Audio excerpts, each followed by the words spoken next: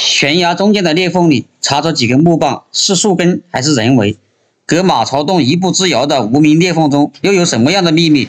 现在呢，我们就来到这个悬崖边上，准备采用专业的 SRT 单层技术。下去一探究竟。我们是经过国家专业培训、取得专业证书的专业的户外探险，所以在此提醒大家不要轻易模仿。在这里，我们打了一个双点，开始准备绳降。现在先锋开始布线。这是从坑边下来的第二个锚点，我们在一个大树上做了一个原始锚点了，挂在第二个安全保护站上面的哈，做好保护，进行一个安全拍摄。在这里特别提醒啊，专业运动在专业指导下进行，此行为存在极大的风险。我们都是经过专业培训的哈，所以不要轻易模仿。这个洞口的位置啊，它在岩壁的中间，是一个负角度，所以我们现在这边下去一深到底可能有四十多米，完了还要打个横切才能进入洞口。哦，好爽啊！这底下就是落脚河，大峡谷，离城市最近的大峡谷，风景相当的 OK 啊。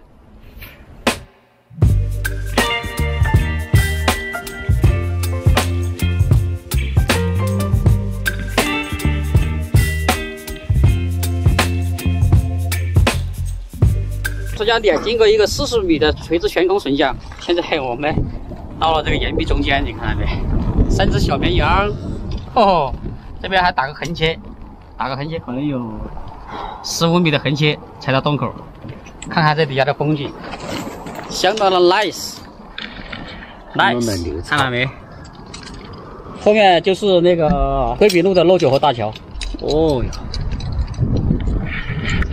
这一段下去呢，可能还有七八十米。也就是说，现在我们所处在的位置是一个整块崖壁的中间这个崖壁总高度可能在两百米左右。哎呀，这个地方可以说是没有立锥之地呀。现在我们是在绳索上进行一个安全拍摄啊，所以请平台的审核工作人员不要给我们限流。我们是经过专业培训的。看一看这底下的风景，现在落九河这个水位啊，又开始恢复到以前的位置了。今天我们要去的洞啊，就在这个右边啊，这边过去也是一个长方形的一个洞，里面好像有人为痕迹。呃，在这个洞中间有几块的木头是人为打进去的，但是在这边呢，就是我们上次探索的那个马槽洞。马槽洞一样的，在这个悬崖中间，它也是里面有很多的人为痕迹。不知道以前那些人他是怎么下来的哈，在这个绝壁中间，在那个水面上来差不多五米的位置，那里还有一块人为痕迹，也是去了一个围墙，一块很平坦的地方。在以前这个洛九河的水没淹起来的时候啊，这底下是个很深的沟壑，一个峡谷。这个水深的位置大概在四十米左右，也就是说。那一块人为痕迹也是在这个绝壁的中间的位置，离河谷底面有四十多米。我们从这个点横切过来以后啊，这边马上就到洞口了。什么情况，参官？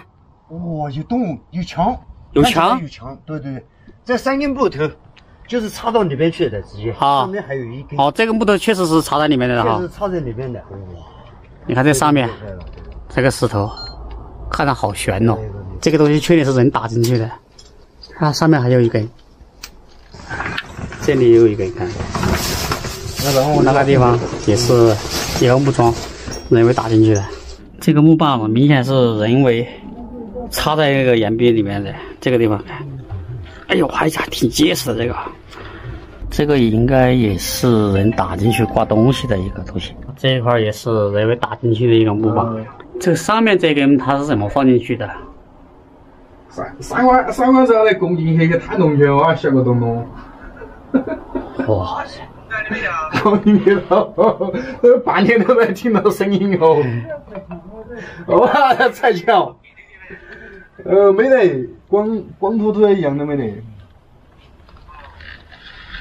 这里面就是这样子。好，说了。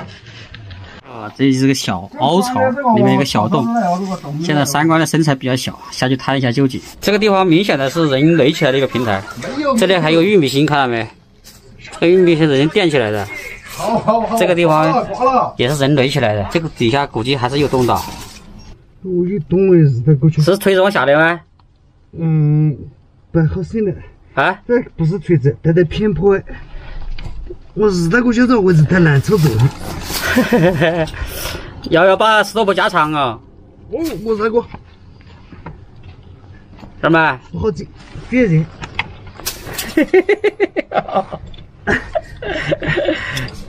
我我那个确认我也要出来吗？要要先出来。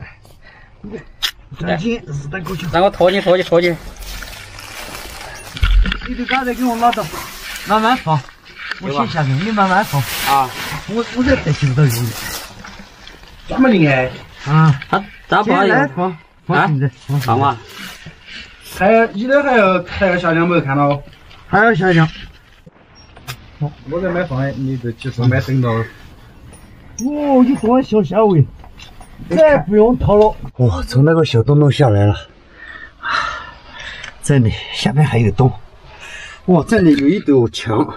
我现在是踩在这道墙上。哇，这个洞，哇，我看下不下得去。这里一堵墙，是不是宝藏？哇！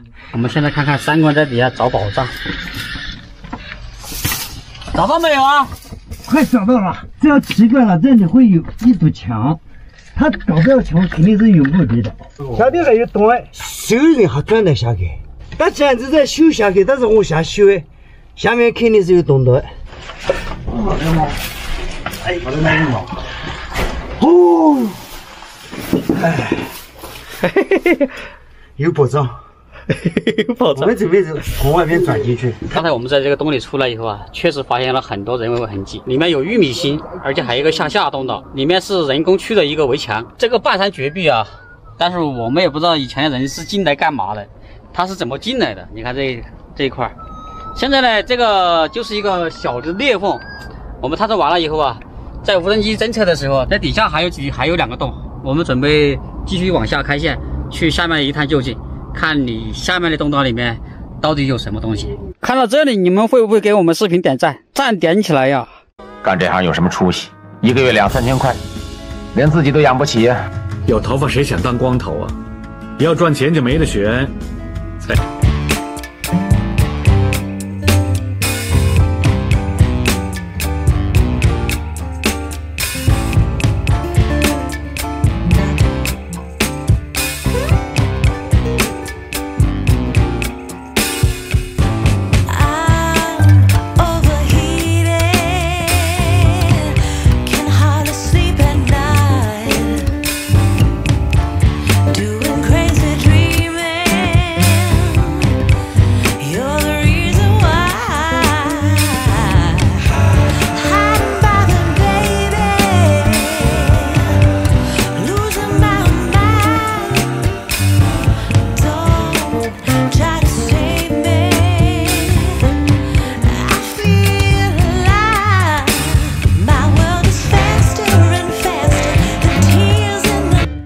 那边还有个人为痕迹，绳子 绳子不够了，所以今天，我们现在要原路返回。我现在从这个地方开始往上爬，总共我们带了两百米绳子没到底，你说这个崖壁有多高啊？这就是一个山体的一个裂缝，巴掌大的一个地方，这底下好多骨头，全是这个动物的骨头，应该是鸽子啥的，鸽子的骨头被老鹰抓进来吃掉了。